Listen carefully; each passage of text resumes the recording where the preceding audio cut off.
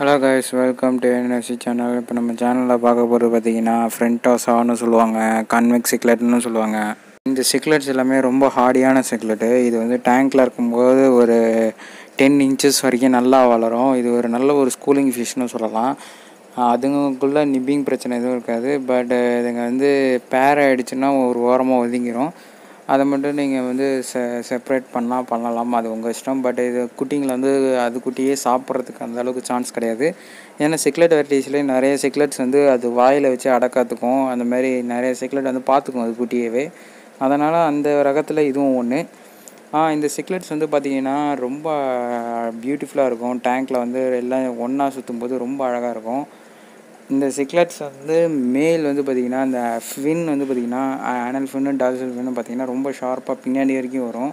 அதாவது வாழை தாண்டி அதாவது பின்னாடி இருக்கிற ஃபின்னை தாண்டி வர்ற மாதிரி இருக்கும். அது வந்து மேலு. அது ஃபின் வந்து தாண்டாத அளவுக்கு இருக்கிறது வந்து ஃபீமேலு இதை வச்சு கண்டுபிடிக்கலாம். அந்த பிளாக் கலர் வந்து ஃபீமேலு அந்த பிளாக் மாதிரி இருக்குல்ல அது வந்து ஃபீமேலு அந்த மாதிரி நிறைய இதாக இது இந்த சைடும் இருக்குது பார்த்தீங்களா? இது மேலே போகிறது வந்து மேலே. பார்த்தீங்கன்னா தெரியும் ஃபின் வந்து பின்னாடி வரைக்கும் வரும். இந்த சிக்லெட்ஸை பொறுத்த வரைக்கும் ஹை நியூட்ரிஷன் ஃபுட்ஸ் தேவை. இது வந்து ஹை நியூட்ரிஷன் ஃபுட் வந்து கொடுக்கணும்.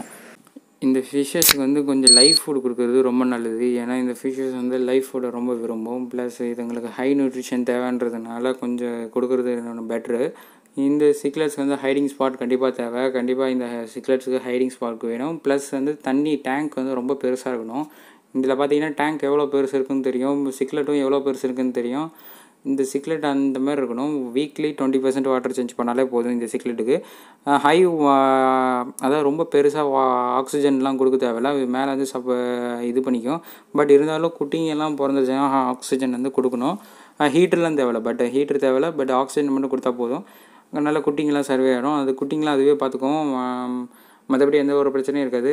இந்த மேல் வந்து பார்த்திங்கன்னா ஹம்ப் மாதிரிலாம் இருக்கும். இங்கே பார்த்திங்கன்னா கீழே வந்து ஃபீமேலு அதாவது சொன்னால அந்த ஃபின்ஸ் வந்து பின்னாடி வரைக்கும் ரீச் ஆகாது. அது வந்து ஒரு ஷார்ப்பாக வர மாதிரி தான் வரும். ஆனால் பின்னாடி வரைக்கும் ரீச் ஆகாது. கீழே மேலே பார்த்திங்கன்னா மேல் பாருங்கள் அந்த பின்னாடி இருக்கிற ரக்கையவே தாண்டி போகிற அளவுக்கு இருக்கும். அந்த மாதிரி தான் அதான் சொன்னல அதுதான். பேசிக் இது. இந்த ஃபிஷ்ஷஸ் வந்து பெரிய சைஸுக்கு ரீச் ஆயிடுச்சுன்னா இது ஒரு வந்து ஃப்ளோரான் டைப் மாதிரி தான் இருக்கும் ஹம்ப்லாம் வரும் மே மேலே. அது ரொம்ப நல்லாயிருக்கும் பார்க்க. இந்த சிக்லெட்டில் வந்து நிறைய கலர்ஸ் இருக்குது. இதுலேயே என்ன சொல்கிறது வயலட் இருக்குது. இப்போ ப்ளூ இருக்குது. அப்புறம் இன்னொரு கலர் பிங்க் மாதிரி கலர் இருக்குது. இந்த சிக்லெட்ஸ் வந்து ப்ரீடிங் பொறுத்த வரைக்கும் பார்த்தீங்கன்னா இந்த சிக்லெட் வந்து நீங்கள் தடிச்சு அதாவது குட்டி போட்டுச்சுன்னா அது குட்டியவே சாப்பிடுது அப்படின்னு நினைக்க வேணாம். அது சாப்பிட்டாலும் இப்போ இப்போ திருப்பியும் இப்போ வந்து பிரீடு விடும். ஏன்னா நீங்கள் குட்டியை பிரித்து போட்டாலுமே அந்த குட்டி வந்து எதுவும் என்ன சொல்கிறது க சர்வே ஆகாது. அது குட்டி அது கூடயே இருந்தால் மட்டும்தான் அது வந்து இதாகும். இப்போ கீழே பார்த்தீங்கன்னா குட்டி வாய்க்குள்ளே போகிற சைஸ் தான் இருக்குது. பட் அது வந்து சாப்பிடல.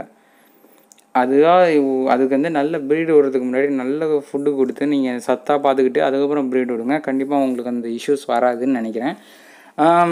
இந்த இஷ்யூஸ் முக்கால்வாசி நம்ம வந்து ச ப்ரோட்டீன்ஸ் ப்ராப்ளம்னால மட்டும்தான் வரும். ஏன்னா அது குட்டியே சாப்பிட்றதுனால அது ப்ரோட்டீன்ஸ் அதிகமாகும். அதனால தான் சாப்பிடும் முக்கால்வாசி மீன். நீங்கள் வந்து ப்ரோட்டீன்ஸ் நல்லா கொடுங்க. கண்டிப்பாக அது வந்து சாப்பிட்ற ரேட்டு கம்மியாயிரும். நீங்களும் நல்ல குட்டியெல்லாம் இது பண்ணலாம். இப்போ இந்த மீன் வந்து நான் உங்கள் டேங்க்கை வந்து நல்ல பெரிய டேங்காக கொடுத்து கொடுக்கணும்னு சொன்னேன். இந்த டேங்க்கில் வந்து ஒரு சைடில் வந்து நீ மாதிரி நல்லா ஃபீடு கொடுக்கலாம். இந்த மாதிரி ஃபீடு கொடுத்தா நல்லா ஆக்டிவாக இருக்கும் இந்த ஃபிஷ்ஷஸ் வந்து டே டைமில் வந்து ஆக்டிவாக இருக்காது. நைட் டைமில் கொஞ்சம் ஆக்டிவாக இருக்கும் டே டைமில் வந்து பொறுமையாக நீந்தும். இப்போ ஃபீடிங் டைமில் பார்த்தீங்கன்னா கொஞ்சம் அக்ரேஷன் காட்டும். ஏன்னா வந்து மற்ற மீன் சாப்பிடக்கூடாது அப்படின்றதுக்காக வேக வேகமாக வந்து சாப்பிடும் துரத்தி விடும். இதெல்லாம் பண்ணும். அது எல்லா மீனுக்கும் யூஸ்வல் தான்.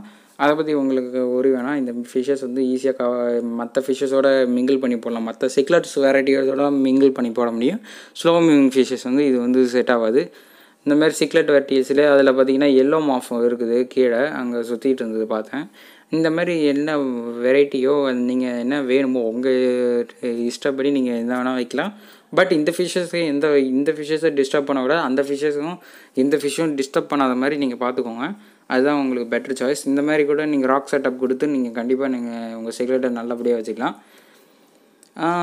இதில் வந்து என்ன இதில் வந்து சேண்ட் இருக்கிறதுனால இது ஒரு பெனிஃபிட் என்னென்னா அது சப்போஸ் ப்ரீட் ஆகணும்னு நினச்சிச்சின்னா சேண்டை ப பள்ளம் பறித்து அதில் எக் வைக்கும்.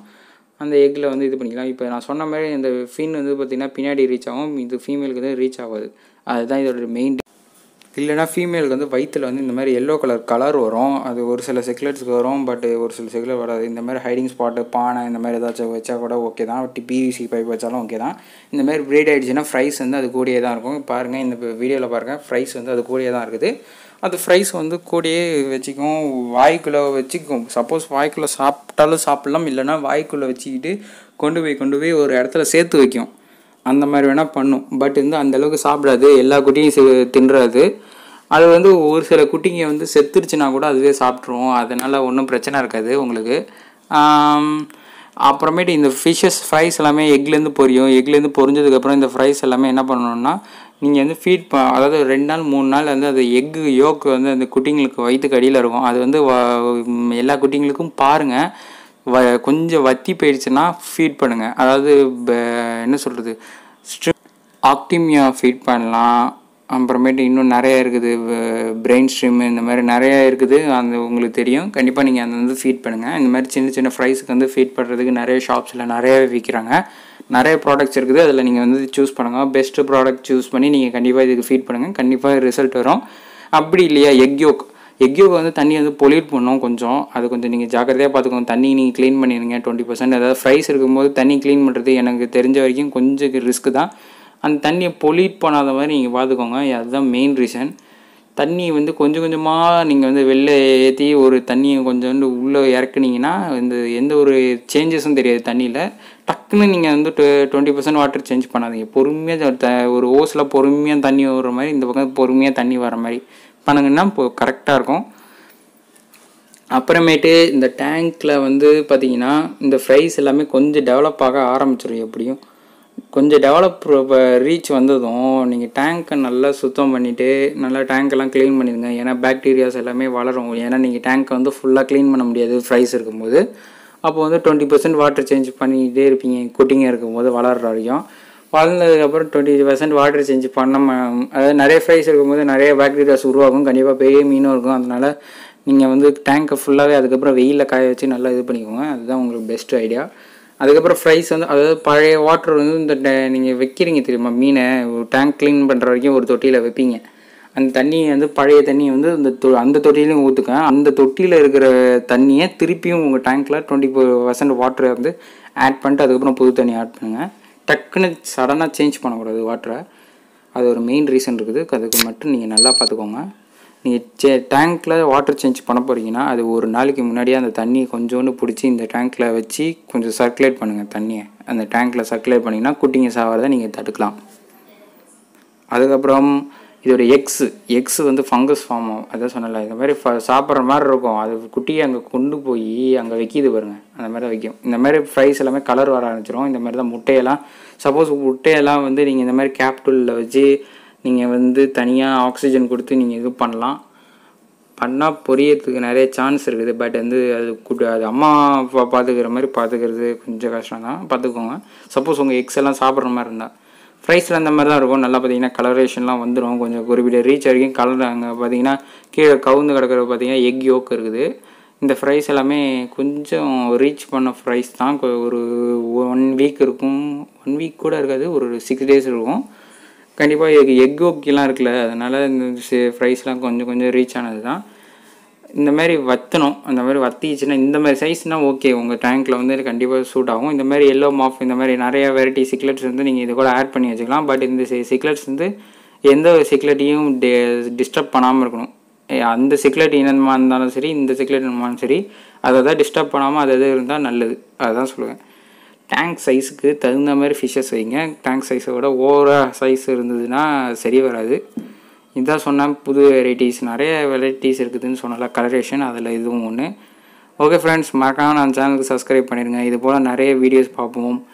நீங்கள் இந்த சேனல் ஹெல்ப்ஃபுல்லாக இருக்கும்னு நம்புகிறேன் மறக்காமல் நான் சேனல் லைக் எனக்கு கிளிக் பண்ணி சப்ஸ்கிரைப் பண்ணிடுங்க தேங்க்யூ ஃபார் வாட்சிங் கீப் வாட்சிங்